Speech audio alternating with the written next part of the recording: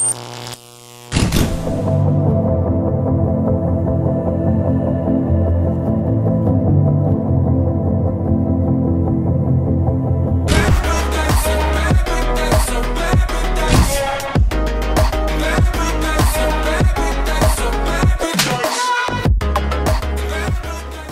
les timbres du FPV, c'est de nouveau X et aujourd'hui on va parler de la suite de ma vidéo comment monter un quad sans soudure sur la FC. Alors je vais revenir sur quelques petits points sur lesquels je suis passé un peu vite, euh, notamment comment euh, câbler les RX sur la Revolt OSD, que ce soit du Crossfire ou du euh, RX S-Bus, un peu plus classique, et les petits trucs à savoir justement à, faire sur la FC pour que ça fonctionne. Et ensuite on va voir comment paramétrer Flight One euh, on va parler des PID, on va parler des filtres, on va parler de, d'un peu tout l'écosystème Flight One, voir un peu comment ça, comment ça fonctionne, et puis tout simplement comment euh, paramétrer une machine sous Flight One quand on n'y connaît rien. Vous allez voir, c'est super simple, il y a plein d'automatismes, c'est vraiment génial, c'est le paradis, on kiffe, vive Flight One, Flight One président Je m'enflamme, excusez-moi. Bref, trêve de plaisanterie, rentrons dans le vif du sujet, parce qu'on n'a pas le temps, on n'a pas le temps. Allez, c'est parti. Alors on va commencer euh, d'abord par voir comment on branche les récepteurs, les différents types de récepteurs, que ce soit du Spectrum, du Crossfire ou du, euh, S-Bus classique.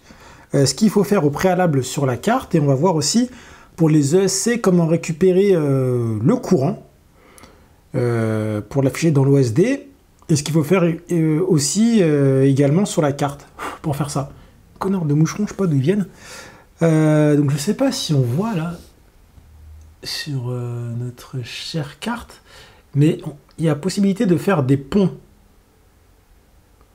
pour mettre le TX1 et le TX4, donc les UART TX1 et TX4, soit en mode normal, soit en mode inversé, et pour l'UART TX6 qui sert euh, au courant, je sais même pas si c'est celui-là, je sais pas si on voit là. Bref, c'est l'un des deux. Euh, le TX6 qui sert au courant pour le mettre soit en mode télémétrie pour le Bell Elite 32, soit en mode courant classique. Voilà. Alors, on va prendre le schéma. Euh, donc on va commencer d'abord par le Crossfire. Donc pour câbler un Crossfire, un récepteur Crossfire, c'est très très simple. Euh, il faut mettre bon ground et 5 volts, hein, ça c'est habituel comme sur tous les récepteurs on va mettre le signal CRSF qui correspond au TX1. On va le brancher sur le TX1 qui est ici. Et la télémétrie euh, du Crossfire, on va la brancher sur le TX3 que l'on récupère soit ici, là, le TX3, sur la prise du VTX, soit à l'envers de la carte ici. On a un TX3 qui se trouve là. Vous choisissez voilà. Alors, pour ceux qui viennent de Betaflight, effectivement, normalement, on utilise TX pour tout ce qui est transmission vers le récepteur, donc pour la télémétrie, et RX pour tout euh, ce que pour les inputs radio qui viennent du récepteur vers la carte. Mais sur Flight One, c'est pas comme ça. C'est TX1 et TX3 pour le Crossfire. Ne me demandez pas pourquoi, c'est comme ça. Si vous avez un VTX qui gère le protocole Smart Audio, vous pouvez soit brancher directement le Smart Audio sur le Crossfire ou utiliser le RX3 que l'on trouve ici sur la prise là. Donc ça, ce sera votre Smart Audio. Ok? Donc ça, c'est pour le Crossfire. Donc quand vous êtes en Crossfire, il faut mettre le TX1, voilà, donc Crossfire, je vous ai fait une petite flèche, en mode normal. Donc on ponte le TX1 avec le mode normal.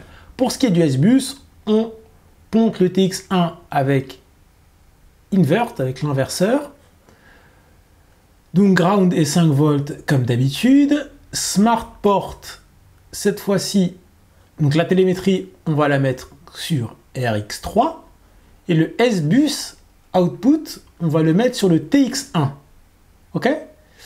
Pour ce qui est euh, du Smart Audio de votre VTX, euh, cette fois-ci, ce ne sera pas le RX3 comme sur le Crossfire, mais le TX3 qui est là, de façon qui est sur la prise du VTX. OK? Donc on récapitule. TX1 pour le S-Bus et RX3 pour le Smart Port. On met TX1 et invert. Et là, on est en mode S-Bus. Si vous avez un Crossfire, c'est TX1 et TX3 pour la télémétrie, TX1 ponté en normal. Voilà. Si vous êtes en Spectrum, vous êtes quelqu'un de bizarre, hein, euh, c'est encore plus simple. Donc on a le ground, le 5 volts comme d'habitude. Pour le signal, on utilise le TX1 et le TX1 est ponté en mode normal. Voilà. C'est pas plus compliqué que ça. Maintenant, ce qui concerne... Euh, mais je sais pas d'où viennent ces moucherons, c'est super relou. En ce qui concerne euh, le, le TX6 pour, pour, euh, pour récupérer le, le, le, le, courant, enfin le l'ampérage. pourquoi ça s'est éteint ça? Mais non, je suis pas d'accord. J'ai plus de batterie, qu'est-ce qui se passe Ouh Ah, ah, c'est con parce que du coup on voit plus. Oh putain, je suis en train de me casser la gueule. Ce tuto part totalement en sucette là. Euh, est-ce que j'ai une batterie qui est chargée dans ce merdier là?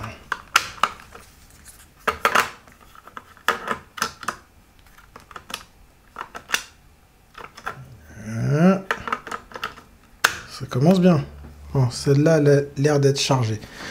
Ok, donc oui, on parlait de récupérer le courant. Donc, euh, pour ceci, voilà, c'est ici, là. Donc on a l'URT6, TX6. Euh, soit donc on ponte le TX6 avec euh, le capteur de courant classique, hein, current ici, ou avec le TX6 qui est un protocole numérique pour le BLI 32, enfin digital. Ok? Pourquoi? Donc là, par exemple, sur ce quad-là, j'ai utilisé un ESC 4-in-1 Obi-Wing. Donc là, j'ai le, le, schéma. Voilà, je ne sais pas si on voit quelque chose. Donc j'ai 10 volts, ground, euh, l'attention de la lipo, le capteur de courant, euh, encore une masse, 5 volts, et les 4 euh, signaux de, pour les moteurs on voit que j'ai aucun truc de télémétrie. Donc ça veut dire que le Obi-Wing, lui, ne gère que le capteur de courant classique. Donc pour lui, je vais ponter le TX6 là avec le capteur de courant classique. Par contre, pour l'OSC 4-in-1 Icon qui est ici, euh, je crois que mon... Bah allez là si on voit un peu mieux. Voilà. Sur celui-là, par contre, on peut voir que j'ai une, télémétrie et en plus un capteur de courant. C'est-à-dire que lui, il gère les deux protocoles. Pourtant, le Obi-Wing, c'est aussi un, un Bell 32, hein, sauf qu'il ne gère pas le, protocole numérique euh, de télémétrie. Mais sur l'Icon, je peux. Donc, soit je choisis télémétrie, et dans ce cas-là, je ponte avec le TX6, là, donc à gauche, le milieu et le TX6, soit j'utilise ici les trucs courants, et dans ce cas-là, je ponte le milieu avec courant. Voilà, tout simplement. Euh, voilà pour ce qui est du paramétrage physique, on va dire, de la, de la Revolt pour Flight One. Hop, je remonter mon...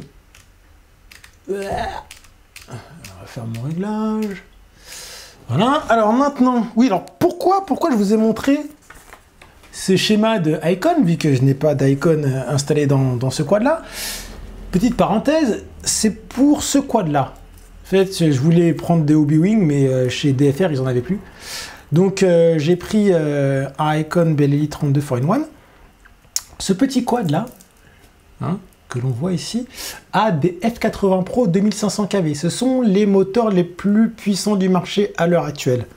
Ce petit quad en 5 pouces, là, il pèse 272 grammes seulement avec 4 F80. Je ne sais pas si vous vous rendez compte, le rapport poids-puissance, il est monstrueux. Il est tellement monstrueux, hein, tellement monstrueux que il y a un petit logo Ferrari là. Hein, ça c'est parce que la petite touche, c'est pour qu'il aille plus vite. Pourquoi j'ai monté Squad euh, de, fou furieux C'est pour répondre à Dom Wilk qui, m'a, qui, qui, qui, racontait euh, sur Facebook hein, avec, enfin, avec lequel je me suis un peu accroché sur Facebook, sur le groupe French FPV 250 Racer, je crois. Parce qu'il disait qu'un quad en 6S ne vole pas plus vite qu'un 4S. Selon lui, c'est juste que les moteurs atteignent leur RPM max plus rapidement pour moi, c'est une pure connerie. Hein, j'ai absolument rien contre Dom. Hein. Il fait beaucoup pour la communauté et tout, c'est très bien. Il participe sur, euh, euh, à, l'avancement de notre belle discipline, mais euh, je peux pas le laisser dire ça. Ça fait un an et demi que je vole en 6S maintenant, bien avant que ce soit hype. Et euh, la vitesse de pointe n'a rien à voir. Donc j'ai fait ce petit, euh, quad là pour euh, prouver à Dom que, ce qu'il dit c'est faux et qu'il faut d'abord essayer avant d'avancer ce genre de, choses qui sont totalement erronées. Donc j'attends de recevoir le petit GPS qui va se mettre dessus là et on va faire des runs de tests de vitesse de pointe pour prouver qu'on va bien bien bien plus vite en 6S qu'en 4S. Voilà, donc euh, voilà pourquoi j'ai le, schéma du petit icon là, c'est parce que j'en ai installé un sur ce quad là. Mais ce n'est pas le sujet de cette euh, vidéo. On va donc continuer avec le paramétrage de Flight One. Euh, voilà, donc on a vu les branchements, tout ça, les récepteurs, comment récupérer la tension sur... enfin, venant d'un 4-in-1, comment préparer la carte en pontant le TX6. Maintenant, on va passer vraiment au paramétrage en tant que tel. Donc, on va lancer le GUI Flight One. Ici présent. Donc, la carte de base, elle n'est pas flashée avec le dernier firmware, elle est flashée avec un firmware... Euh, voilà, avec un firmware. Euh, donc, qui n'est pas compatible avec mon configurateur qui est trop neuf, qui est beaucoup trop neuf en fait pour, euh, euh, pour ce firmware. Donc on va faire un update du firmware.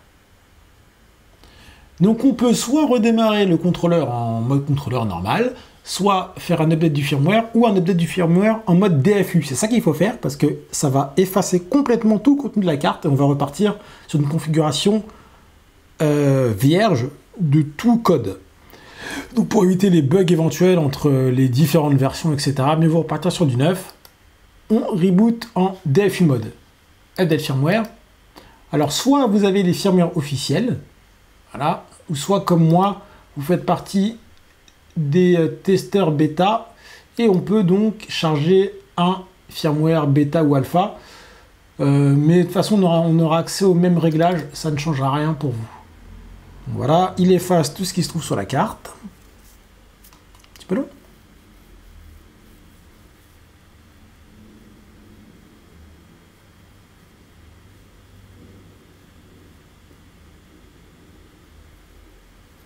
Et il réinscrit les nouvelles données qui correspondent au nouveau firmware.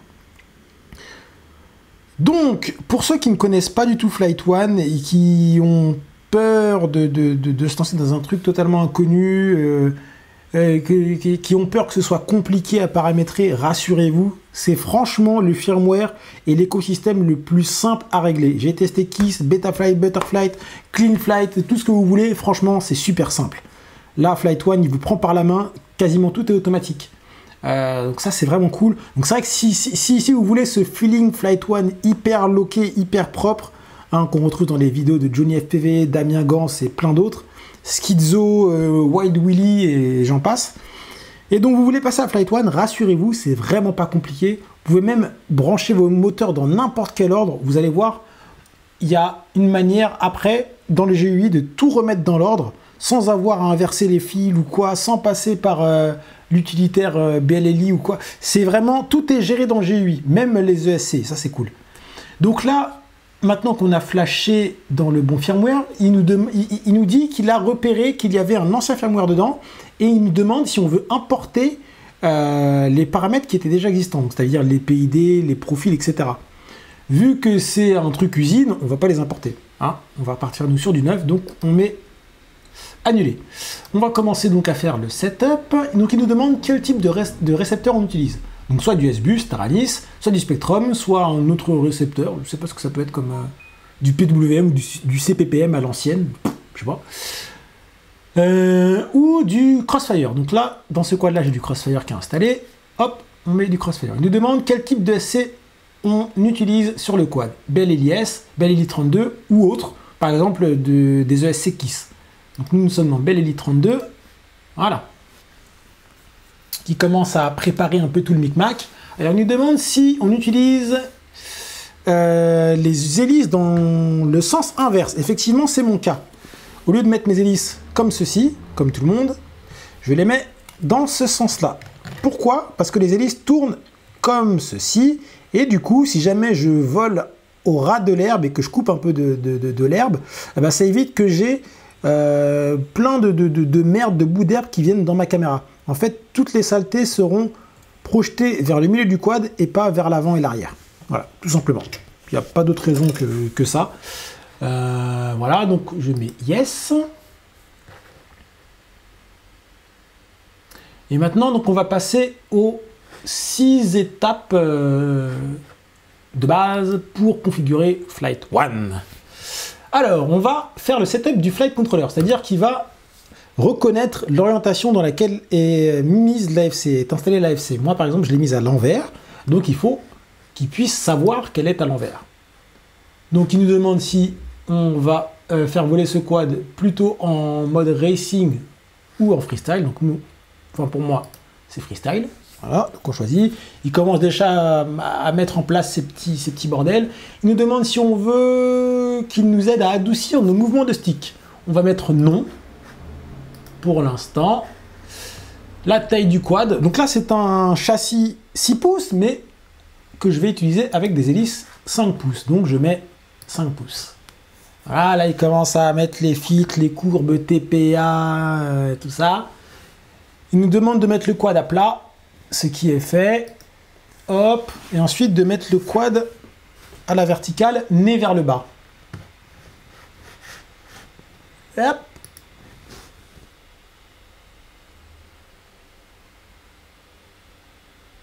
Voilà, ça c'est fait. Donc on a fait la première étape. Donc là, maintenant, il sait, euh, il connaît un peu la configuration du quad, il sait que c'est un 5 pouces, que je vais l'utiliser en freestyle, euh, comment est orienté l'AFC. Donc là, c'est déjà les trucs de base. Pour vérifier qu'il ne se, se, soit pas gouré, mais il n'y a absolument aucune raison, on a... Ah bah tiens, il marche pas pour l'instant. Ah oui, bon alors, on, verra ça après. Je, commence à sauter les étapes. On va maintenant faire la détection du récepteur. Je vais allumer ma radio. Donc il nous demande de préparer la radio. Bienvenue sur OpenTeam. Pour faire cette partie-là, il faut que la radio soit allumée, qu'elle soit bindée avec le récepteur, être sûr qu'elle transmet et qu'elle soit au moins à 10 pieds euh, de distance du récepteur. Je ne sais pas à quoi correspond 10 pieds, on va dire que c'est 3 mètres. Donc je la mets à 3 mètres et je mets Next.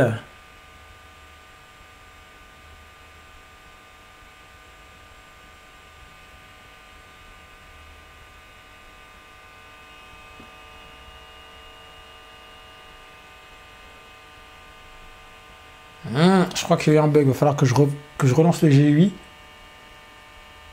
Parce que là, c'est pas normal que ça mette autant de temps. Ah, je crois qu'il y a eu un bug là. Bon, alors ça arrive. Parfois, je débranche l'AFC. Télémétrie. Et... Télémétrie retrouvée. Voilà. Il y a un petit bug. Voilà, donc là, on voit bien que l'AFC est bien dans le bon sens. Parfait. On va recommencer le setup. Je sais pas ce qui s'est passé. Il y a eu un petit bug. Bon, ça arrive. Ça peut arriver. Hop. Si jamais le, le GUI bloque, vous débranchez, vous rebranchez, ça repart. Et voilà. Donc là, il a bien détecté le récepteur. On va maintenant faire le setup radio. Donc il demande pareil que la radio soit allumée, qu'elle soit bindée avec le récepteur, que la radio transmet bien, qu'elle soit à 10 pieds au moins du récepteur et que les endpoints euh, n'excèdent pas 127%. Donc ça c'est dans votre radio, vérifiez bien que les euh, start points et endpoints soient bien euh, de 0 à 100, enfin de moins 100 à plus 100 et en tout cas pas au-dessus de 127%. Donc là c'est mon cas. Hop. Donc il demande de faire des cercles complets Voilà, en allant bien dans les coins. Il faut vraiment aller aux extrémités. Dans les quatre coins, aller vraiment aux extrémités. Hein, voilà, comme ça, il va calibrer parfaitement vos limites pour chaque axe. Que ce soit pitch, roll, yaw et throttle. Voilà, vérifiez bien que vos trims sont bien centrés. Voilà. Une fois que c'est fait, vous avez fait plusieurs fois le tour, vous mettez bien le throttle en bas. Fait next. Il nous dit de mettre le throttle, enfin les gaz en haut. Hop. De mettre le stick de yo à droite. Hop, le pitch tout en haut. Et le roll à droite. Voilà, donc là, en fait, il a défini si votre radio est en mode 1, mode 2, mode 3 ou 4. Tout simplement. Donc là, il nous demande de mettre le switch d'armement en mode désarmé. Donc moi, c'est celui-là, vers le bas. C'est fait. Et enfin, de le mettre en mode armé. Voilà. Next.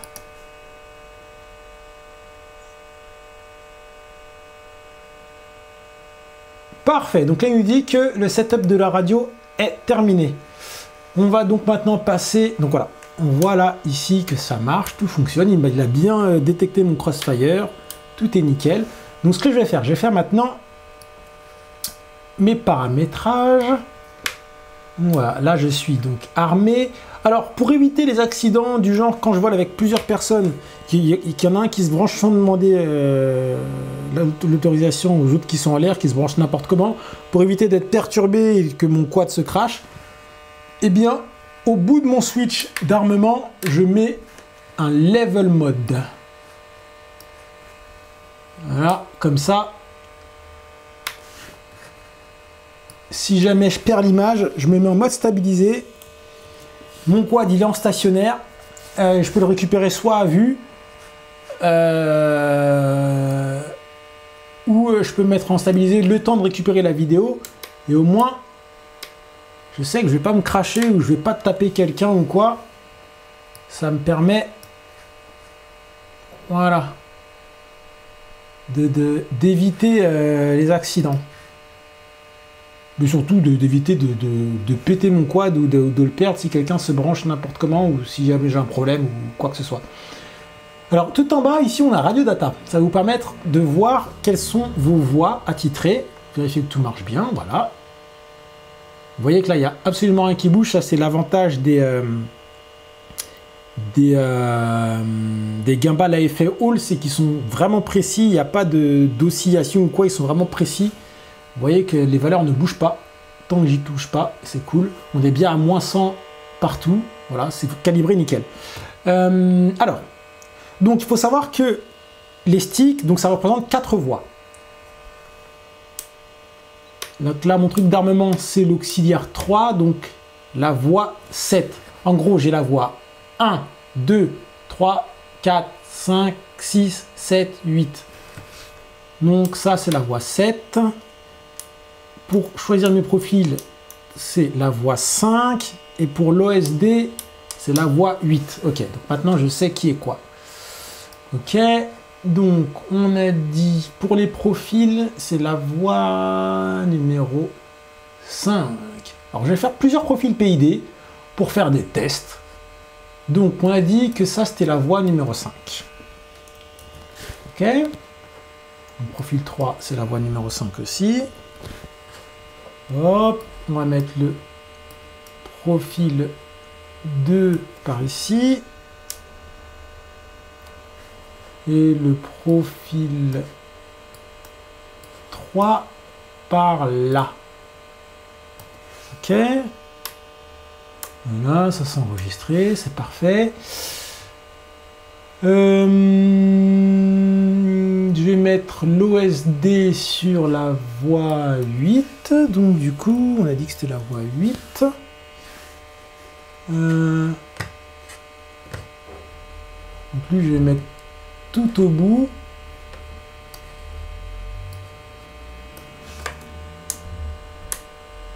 Ok.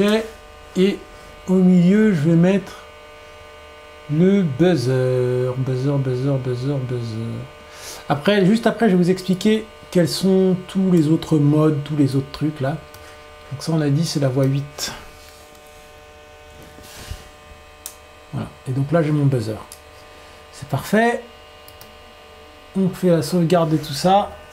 Alors, quand on fait tout, des fois, ça, peut être un peu long. J'ai toujours pas compris pourquoi.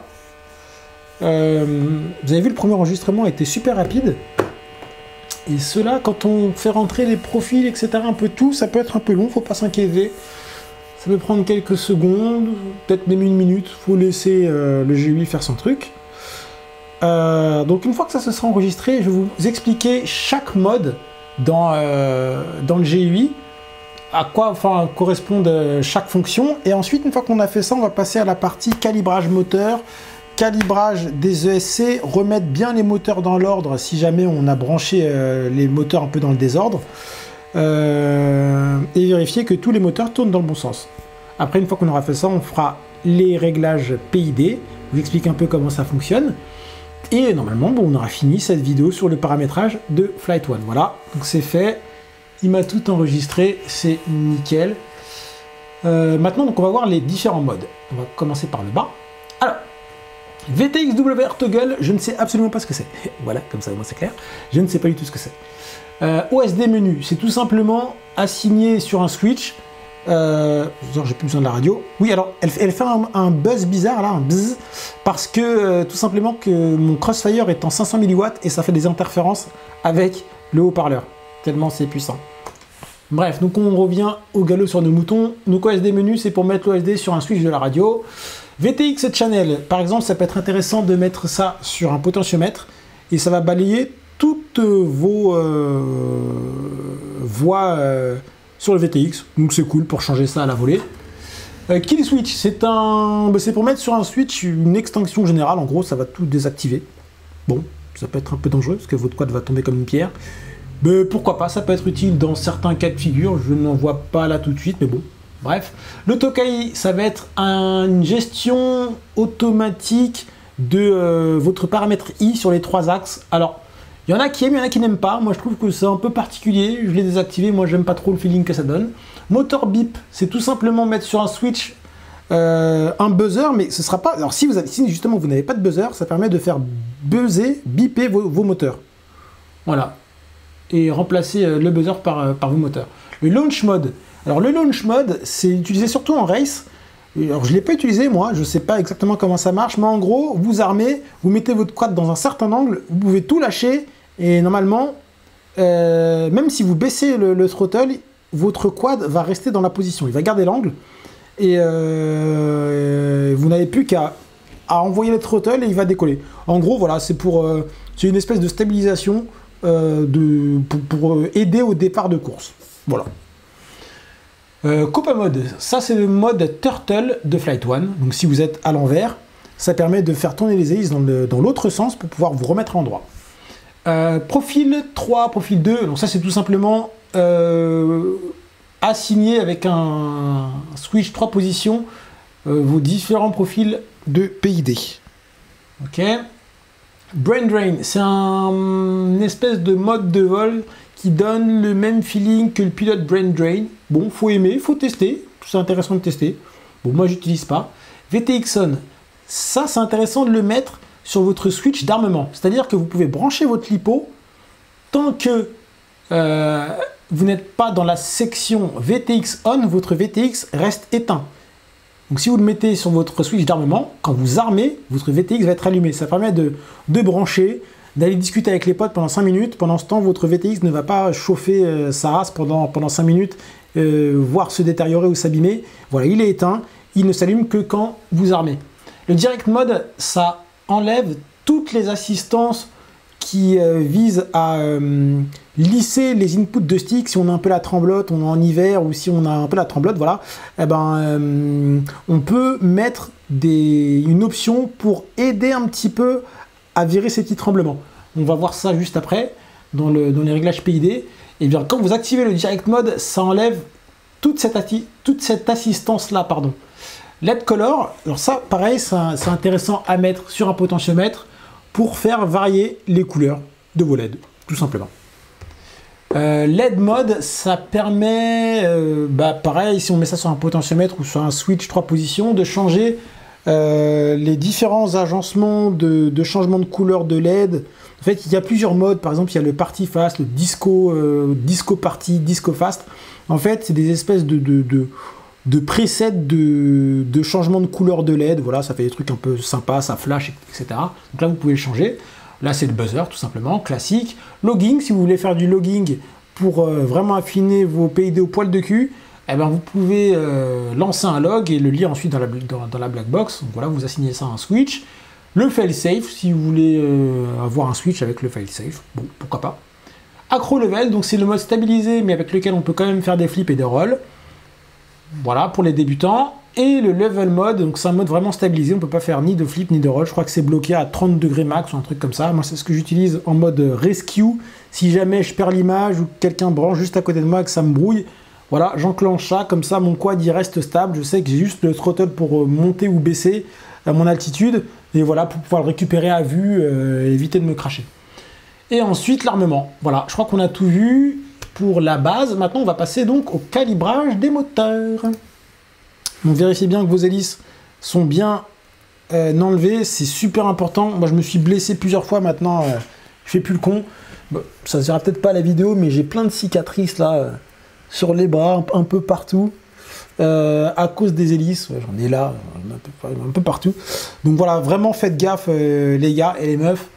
Enlevez bien vos hélices quand vous faites euh, le réglage de vos ESC. Alors, il nous, demande de, d'enlever les hélices et d'avoir déconnecté la batterie, ce qui est le cas. Je suis désolé, je parle un peu vite, euh, mais c'est juste parce que j'ai pas envie que la vidéo dure trop trop longtemps, qu'elle soit pas trop rasoir, vraiment qu'on aille à l'essentiel.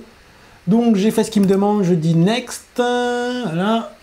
Ils nous disent donc de plugger la batterie et d'attendre que la, la musique de calibration soit terminée et ensuite, une fois que c'est fait, appuyez sur OK.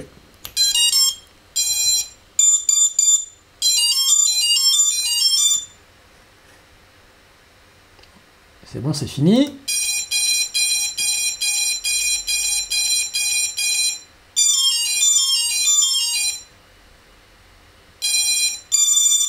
Ok, donc là on entend bien, tous les moteurs sonnent en même temps à l'unisson, donc on est calibré, c'est parfait. Maintenant, on va donc s'occuper de, du ralenti hein, des moteurs, de leur régime au ralenti et de leur direction. Il nous demande donc d'enlever les hélices et de connecter la batterie, ce qui est fait. Hop, next.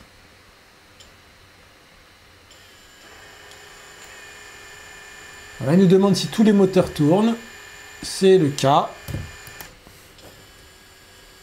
Voilà, donc là, cette partie-là, c'est ce qui va aider Flight One, hein, si on a plugué les, les moteurs dans n'importe quel sens, à remettre dans le bon sens les moteurs. Ok? Donc là, il me demande quel moteur tourne. Donc là, c'est l'avant droit, donc je mets avant droit. Là, c'est l'avant gauche. Donc c'est parfait. On met avant gauche. On met next. Et là, c'est l'arrière droit. Voilà.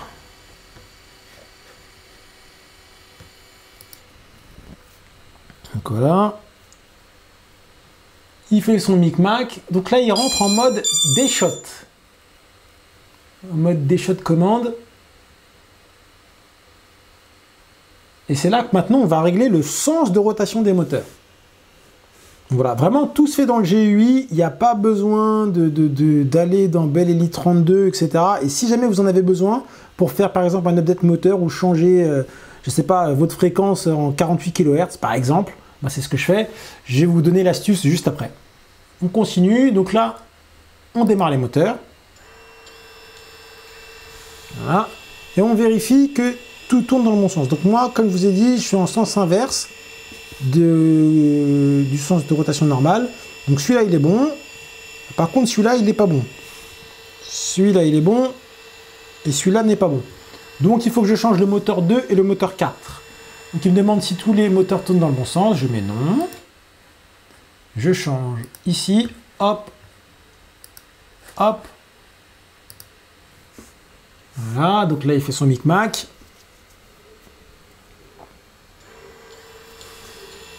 Lui maintenant tourne dans le bon sens, lui toujours, dans le bon sens, et lui aussi tourne dans le bon sens. C'est bon. Donc tout tourne dans le bon sens, on est nickel. Voilà. Il sort du mode des shots. Il me dit que le wizard est complet. Voilà, c'est nickel. Eh bien écoutez, ah, là c'est mon L-Gate qui se met en route. Pour le désactiver, je rebranche entre 1 et 4 secondes, il est désactivé. Voilà, donc c'est un peu comme un drone keeper, hein. mon drone keeper qui est là sur ma, protection de GoPro.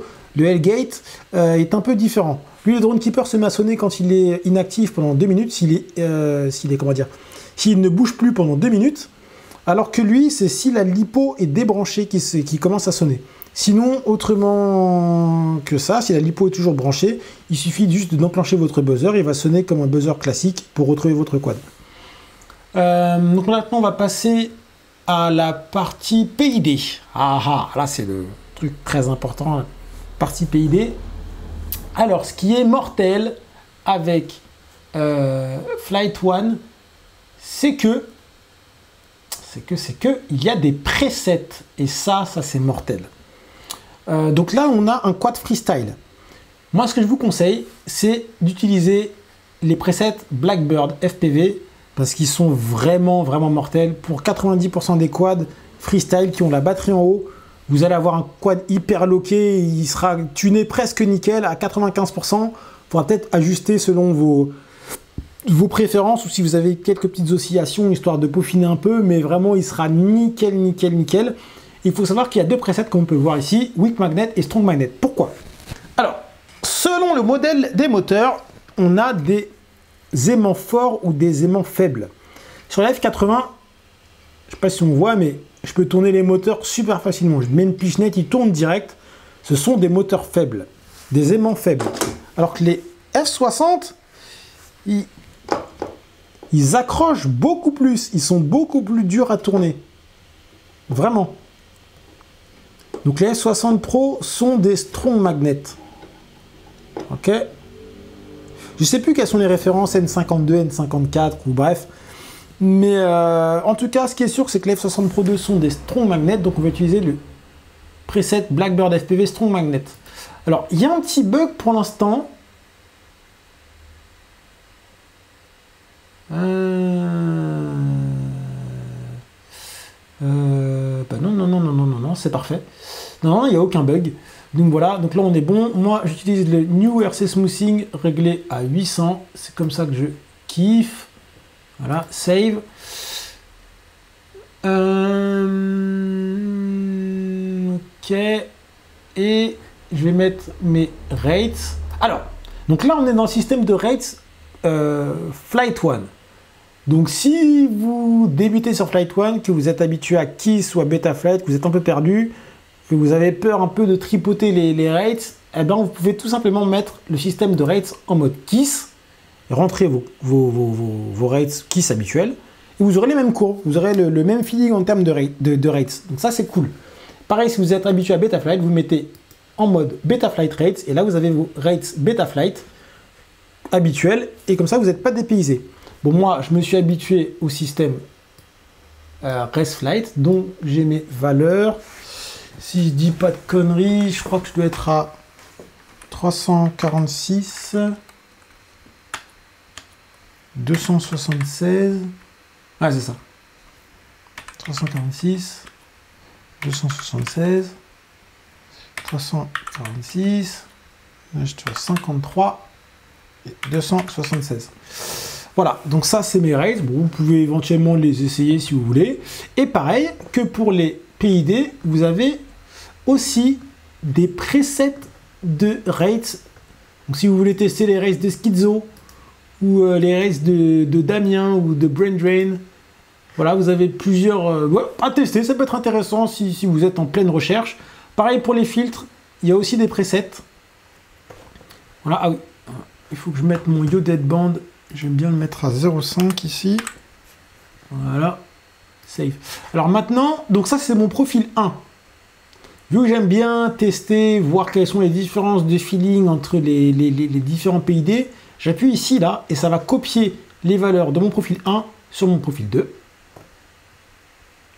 Ça m'évite en fait de, de- de retaper mes rates euh, à chaque fois en fait.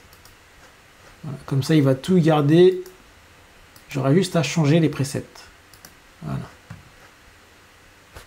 Voilà, voilà. Donc là, maintenant, je me mets sur le profil 2. Je mets toujours mon New RC Smoothen à 800. Donc ça, c'est ce qui permet un petit peu... Les micro-tremblements, là, vraiment, les micro-tremblements, ça permet de les virer. Voilà. Après, ça n'empêche pas que si vous êtes vraiment pas smooth du tout, euh, ce sera pas smooth. hein. C'est pas magique hein, non plus. Mais voilà, c'est juste pour virer les, micro-tremblements. Alors, je vais mettre sur le preset de... Le preset par défaut, parce que j'ai envie de le tester, voir ce que ça donne. Voilà. Donc, il a gardé, il a bien gardé mes rates, c'est parfait. Alors oui, ce que... Petite euh, parenthèse. Ce qui est bien avec Flight One pour ceux qui sont vraiment euh, à fond dans le réglage PID, qui veulent vraiment un truc euh, tuné au poil de cul, c'est que vous pouvez régler le TPA pour le P, le I et le D indépendamment. Et ça, c'est ça, c'est vraiment cool. Euh, voilà, vous pouvez régler vos, vos, vos courbes. Voilà. On va passer au profil 3. Vous allez voir que les courbes vont changer. Voilà. Et là, vraiment, voilà, c'est par rapport au throttle, vous pouvez régler la réaction des P en pourcentage, la réaction des I et la réaction des D. Voilà. C'est vraiment, on peut, vraiment aller assez loin dans le, dans, dans- le réglage, mais on peut aussi garder le réglage vraiment très très simplement en gardant juste euh, les presets. Voilà, là, je vais prendre le.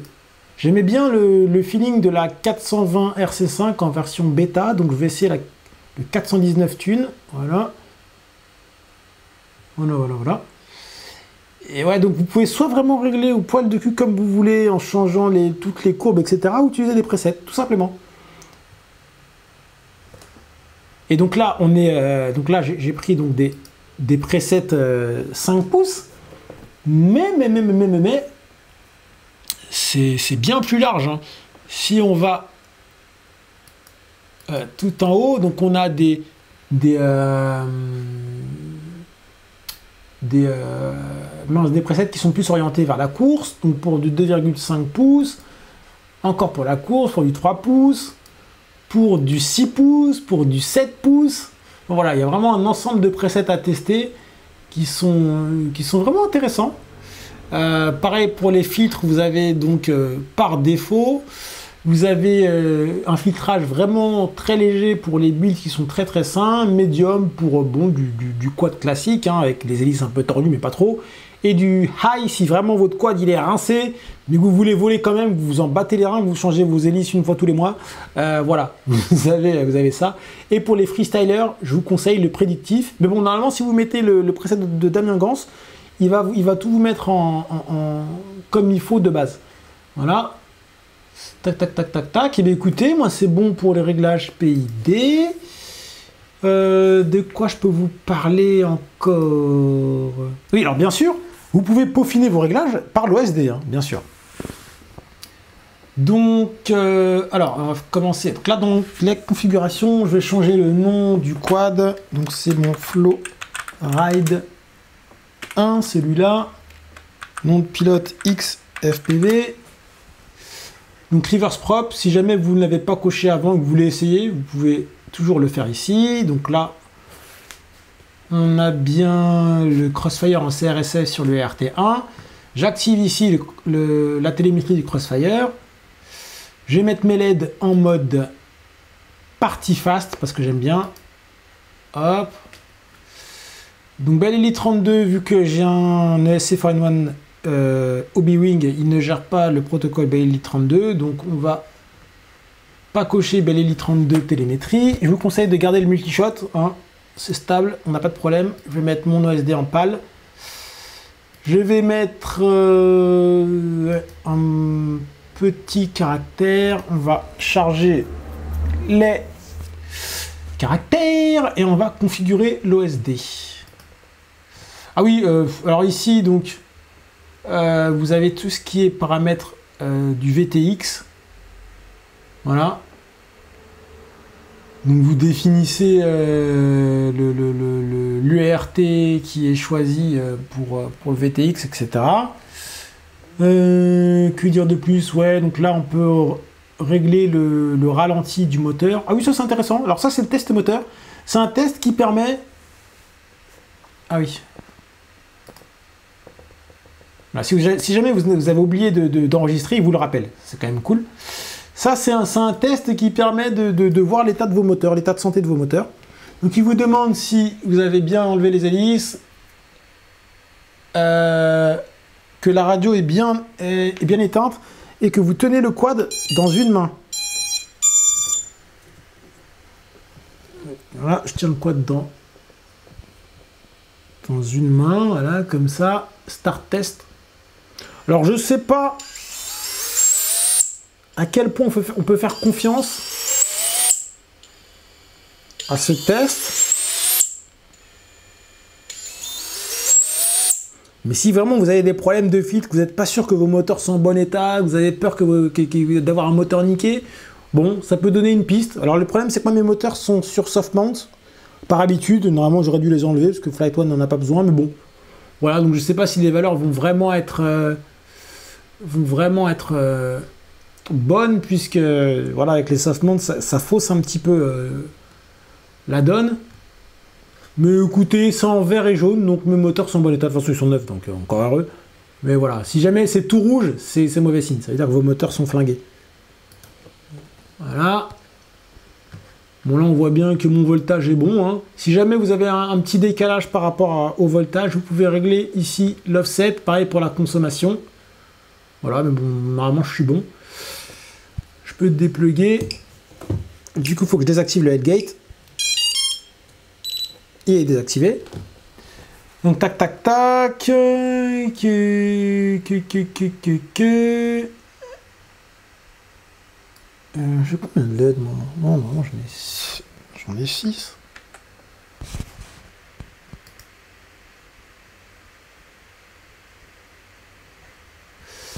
Alors, donc maintenant, on va configurer l'OSD. Donc moi, ici, je mets le nom de mon quad, mon nom de pilote.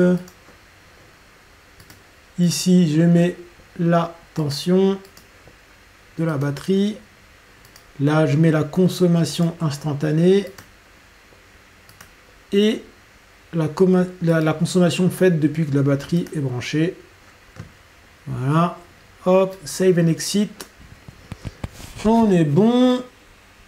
Euh, alors, si jamais votre ESC est, est en Elite 32 et que vous avez bien tout réglé, vous avez fait le pontage que je vous ai montré en, en haut de vidéo, si vous allez ici, vous allez avoir tous les paramètres en temps réel de votre ESC, si bien sûr votre euh, lipo est branché. hein. Vous aurez la température, la tension, euh, la consommation, la consommation instantanée et euh, le, nombre de tours par minute.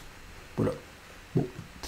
Ici, vous avez le logging, si vous voulez faire des- des logs pour les exploiter dans la black box. Vous avez la console pour entrer toutes les lignes de code dans le CLI si vous voulez euh, coder. D'ailleurs, on va faire un dump.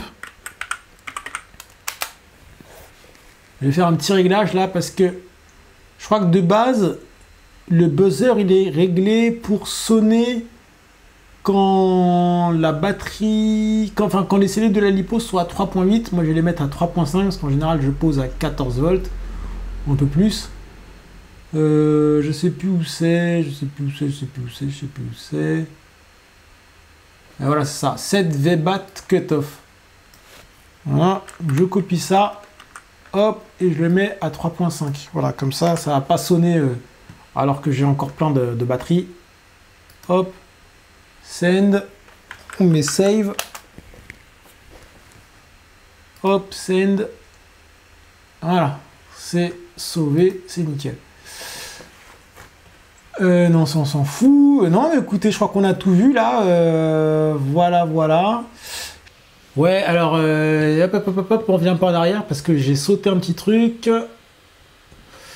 Donc, si jamais vous voulez régler spécifiquement euh, dans, euh, dans le, G8 BLI 32, euh, je sais pas, vous voulez changer euh, la. Comment ça s'appelle? Le timing, ou vous voulez changer la fréquence PWM en 48 kHz par exemple, etc. Ça, vous pouvez pas le faire dans le G8 Betaflight. Euh, si vous voulez mettre à jour vos ESC BLI 32, c'est pareil, dans le G8 Betaflight, vous pouvez pas le faire. Donc, dans ce cas-là, vous cliquez sur ce bouton. euh, le G8 va flasher votre carte avec un firmware Clean Flight euh, provisoire. Vous débranchez, vous branchez ça sur le G8 Bell 32, tac tac tac, vous faites tous vos réglages, vous débranchez, hop, vous relancez le G8, vous branchez votre carte, et là, euh, le G8 Flight One va vous réinjecter le firmware euh, Flight One, et il va surtout réinjecter tous les paramètres que vous avez mis en place avant. Donc voilà, tout sera transparent, sauf que vous aurez, vous aurez pu avoir la, la- la- possibilité de faire vos réglages. Voilà. C'est un truc important, savoir à quoi sert ce bouton. Voilà, c'est si vous voulez aller plus loin dans les réglages des ESC, autre que changer la rotation, euh, le sens de rotation des moteurs, etc. Vous utilisez ce bouton. J'espère que cette vidéo vous a été utile. que Voilà, vous avez, vous avez vu vraiment Flight One, c'est très simple à configurer. hein. Il y a, il y a quasiment rien à rentrer. Il, détecte tout tout seul. C'est vraiment pratique. Donc voilà, vérifiez bien que vous êtes bien en mode expert. hein. Voilà, pour avoir vraiment toutes les options que, j'ai moi. C'est important, j'aurais peut-être dû le dire en, début de vidéo. Euh, voilà, voilà, voilà. Mais écoutez, je pense qu'on va faire euh, la conclusion de cette vidéo. hein. Euh, donc ouais, pour dire un dernier petit mot sur ce petit quad là, restez connectés, on va tester ça très très très très bientôt là. Euh, à mon avis, ça va être très très violent. En 6S, ça va être une furie. Je pense qu'on va atteindre des vitesses complètement folles. Je vous prépare aussi une vidéo sur comment voler au-dessus de l'eau sans aucune pression. Donc comment préparer son quad à un éventuel crash dans l'eau pour déjà pouvoir le récupérer et pouvoir le réutiliser sans qu'il soit, mort. Et c'est vrai que ça, savoir que son quad ne va pas mourir euh, en tombant à la flotte ou comment au, au moins on va pouvoir le récupérer pour récupérer les rushs, eh ben ça détend. Voilà, je vous ai fait une petite euh, vidéo là euh, que je vais vous mettre en ligne bientôt. Et voilà, quand on n'a pas de pression, on peut faire des images cool. Je savais que même si je crachais dans l'eau, il n'y avait pas de souci. J'allais récupérer mon quad, il n'allait pas couler comme une pierre. Euh, et c'est vrai que ça permet de. Ouais, d'être rassuré, quoi. Donc, je vous fais une petite vidéo là-dessus.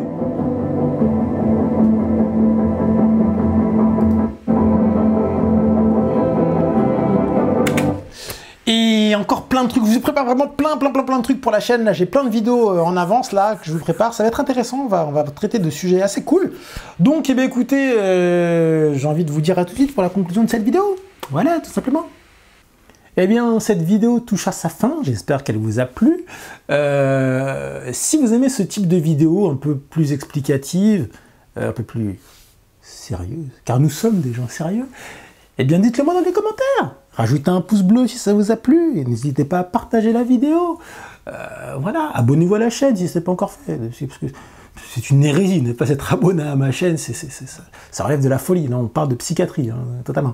Donc, abonnez-vous à la chaîne. euh, et puis, et puis, tout simplement, euh, continuez de me soutenir dans cette belle aventure qu'est le FPV, entre autres, et cette aventure YouTube, tout simplement.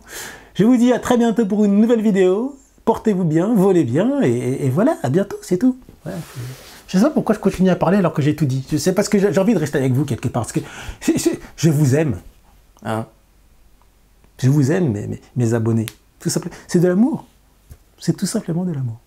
Et c'est pour ça d'ailleurs que j'ai souvent du mal à vous quitter à la fin de mes vidéos et que je continue à, blablater, à déblatérer des conneries sans fin, comme ça, à l'emporte-pièce. C'est parce que tout simplement j'aime ce rapport qu'on a.